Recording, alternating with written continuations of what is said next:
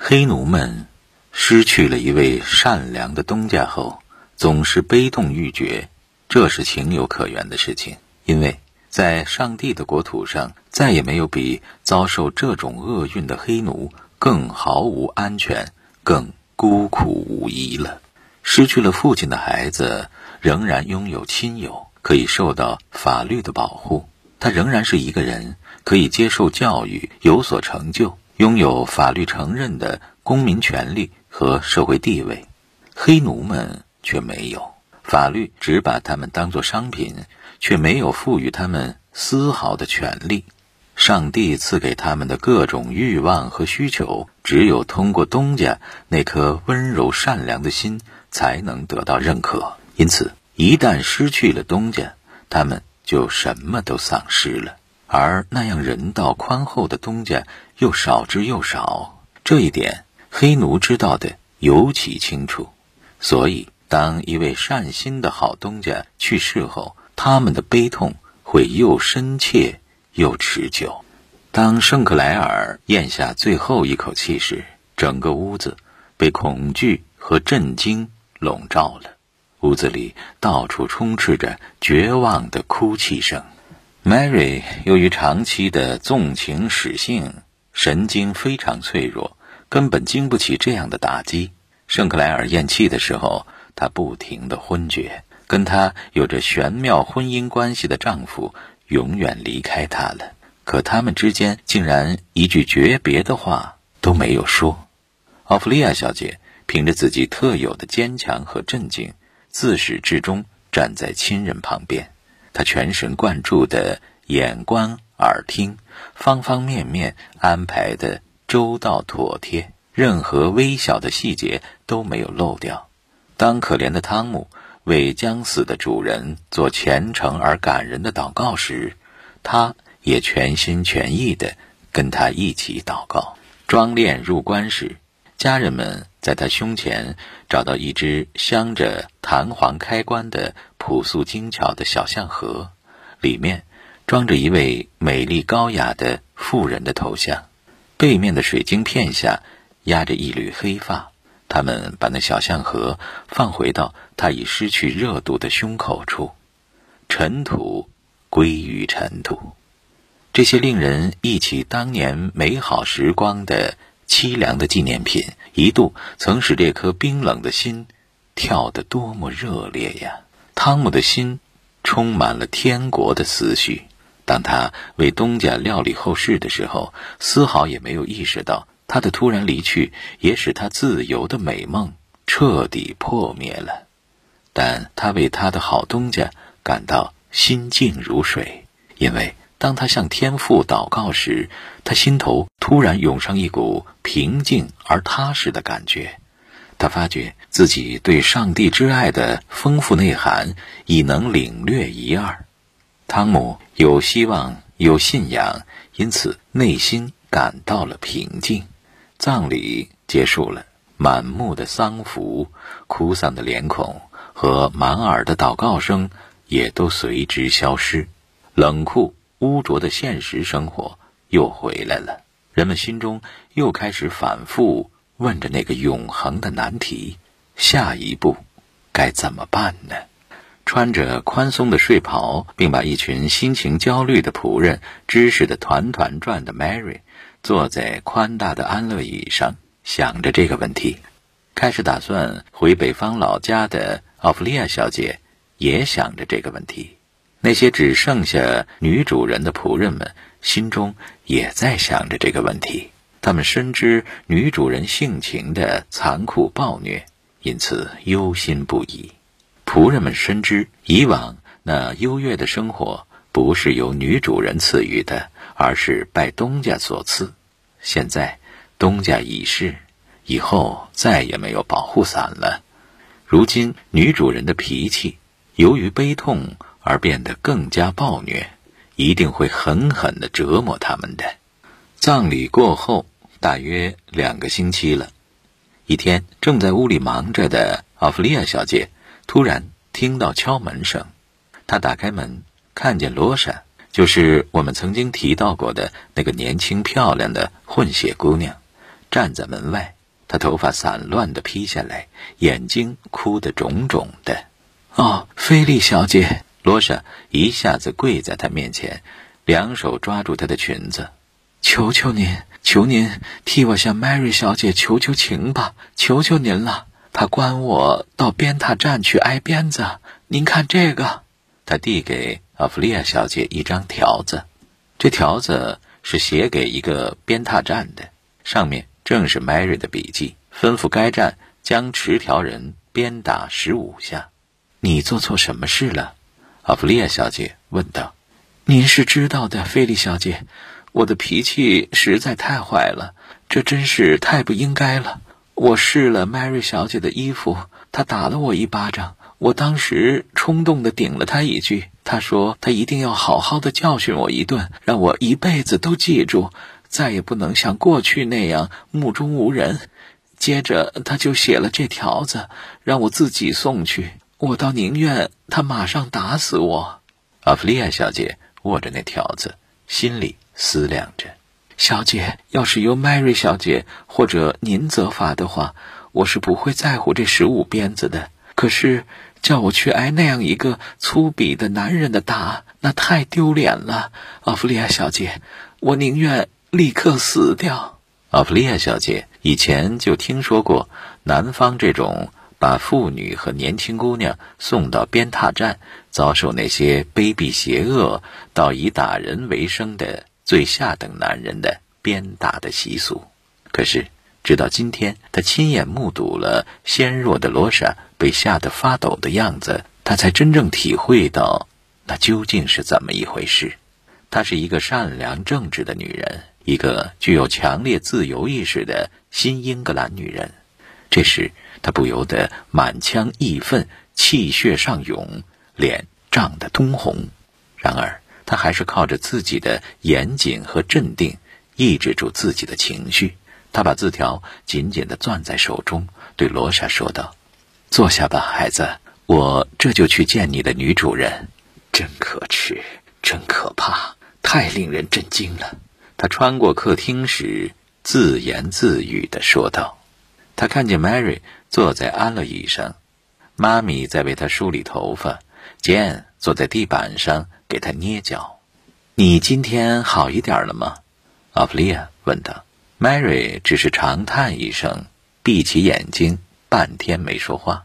过了一会儿，他才说道：“哦，姐姐，我自己也不知道。我看我的身体越来越差，恐怕再也好不起来了。”他边说边用一块镶着黑边的手绢擦起眼睛来。我来是。奥弗利亚干咳了一声。人们在提起令自己为难的事情的时候，总是这样。他接着说道：“我来是想跟你谈谈可怜的罗莎的事情。”听到罗莎，Mary 的眼睛立刻瞪得溜圆，蜡黄的脸一下子涨得通红。他尖叫道：“罗莎怎么了？”啊，他对自己的过失感到非常惭愧和懊悔。他后悔了吗？他后悔的日子还长着呢，我忍受他已经很久了，已经忍无可忍了。他太无法无天了，这次我一定好好整治他，我要整得他头都抬不起来。可是你不能用别的方式惩罚他吗？换一种让他不会像这样丢脸的方式。我就是要让他丢脸，这正是我想要的呢。他一直仗着自己生得娇弱、长得漂亮和那点儿看似大家闺秀的风韵，就大胆放肆、目中无人、无法无天，以至于他都忘了自己的地位，忘记了自己只是奴隶而已了。这次我一定要好好教训他一顿，帮他记忆起来自己是谁，免得以后再招摇。可是弟妹，你想想。要是你把他的文雅和羞耻心都毁了的话，那他就更容易堕落了。文雅，哼，像他这种下人也配用这么漂亮的字眼儿？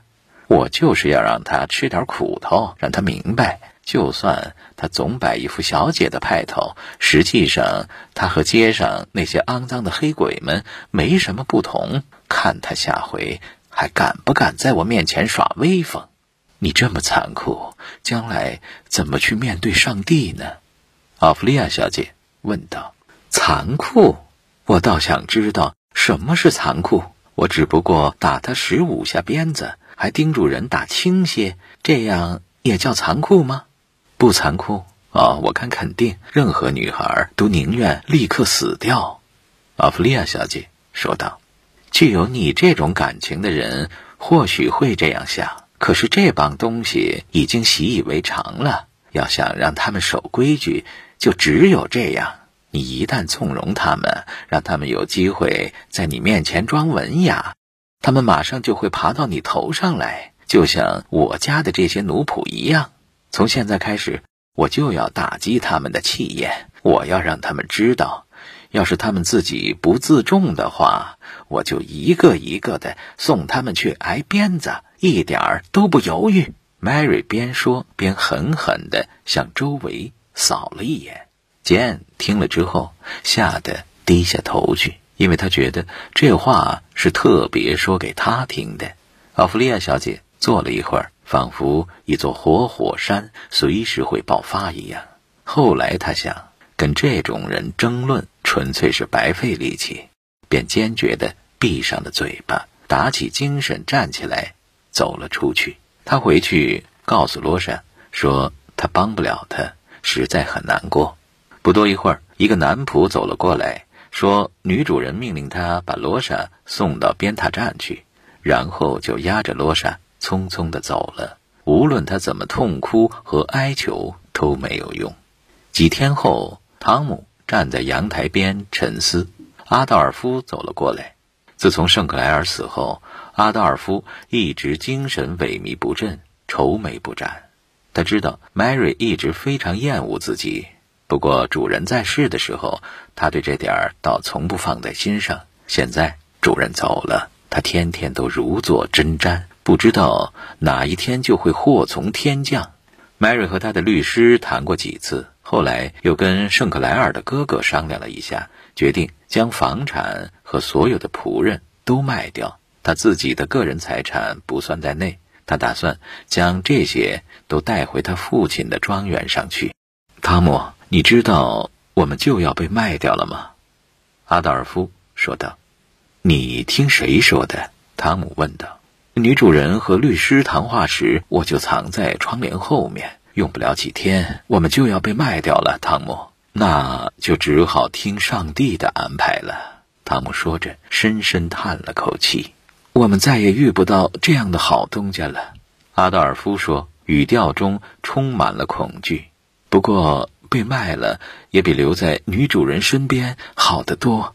汤姆心事重重的转身离开了。他那极具耐性的心里充满了对自由的向往和对远方妻儿的思念，正如即将抵岸的水手突然翻了船一样。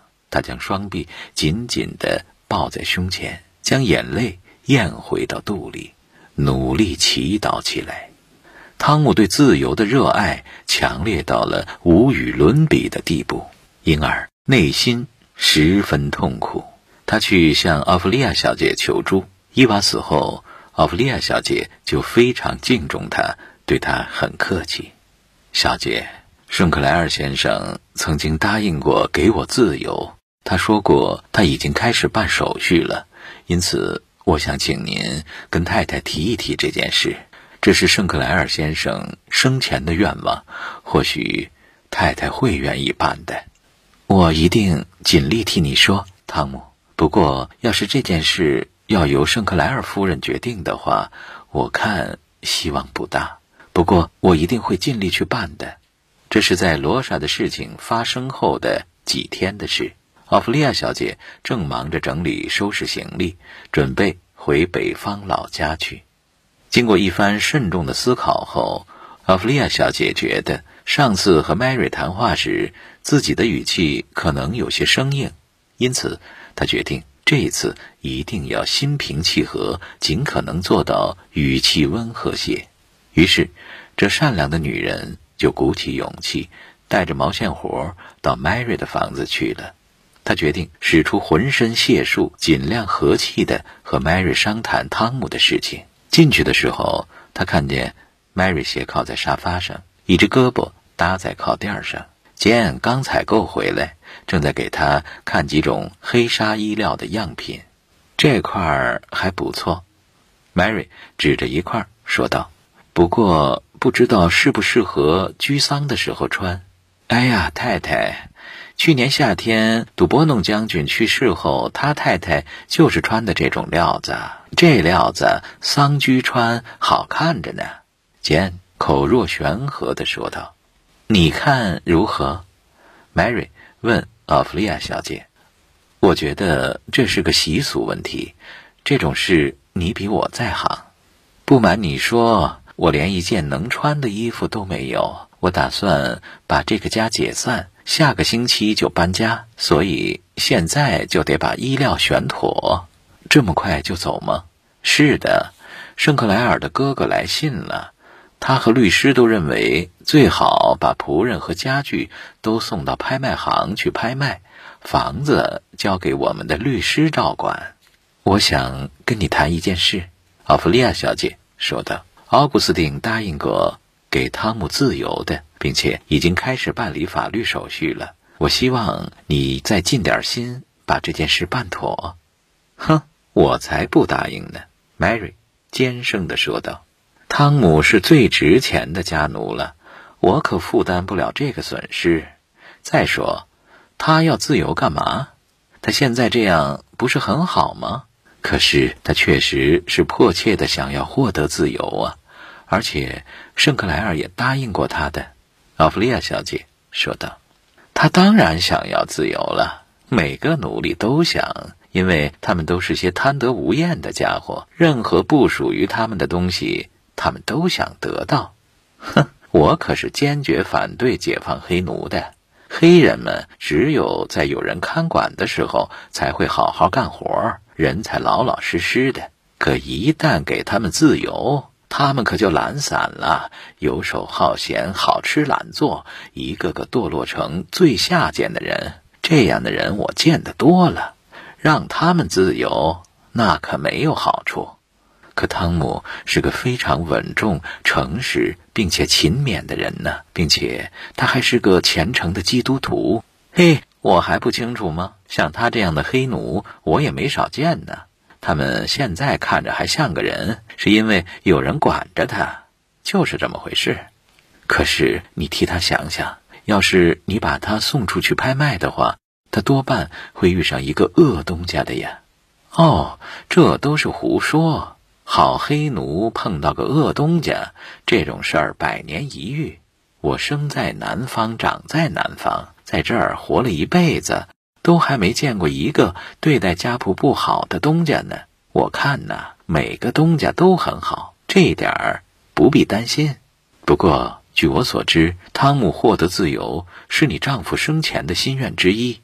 亲爱的伊娃也有同样的愿望。我看你总不能这样轻易的违背他们的遗愿吧？Mary 听到这番话，立即用手帕遮住了面孔，使劲的呜咽起来。一面拼命的闻他的秀颜，谁都跟我过不去，谁都不肯体谅我。想不到你也故意撕我的伤口，你太不体恤我了。谁都不肯全心全意的为我想想，我的遭遇也是世间少有的吧。先是我的独生女儿离开了我，接着我丈夫又离开了我。你明明知道这些事给我的打击太大了，简直使我心痛欲裂，却总是对我提起他们。你对我太残忍了。我也知道你是一片好心，可你这样对我太狠心了。说罢，Mary 就开始呜咽起来，直哭得快要休克了，同时又把整个房子里的仆人又都指使得手忙脚乱。奥弗利亚小姐。便趁机逃走了。他立刻明白了，再怎么说也是没有用的，因为 Mary 的歇斯底里症说犯就犯。从此以后，只要一提起她丈夫和伊娃对家中黑奴有什么心愿，Mary 就会歇斯底里一场。因此，奥弗利亚小姐只好替汤姆给希尔比太太写了封信，把她的不幸告诉她，催他们赶快来救汤姆。第二天，汤姆、阿道尔夫和其他五六个仆人就被押到一家黑奴交易站，在那儿等着被拍卖。那家贸易站的老板准备货一齐，就开始拍卖。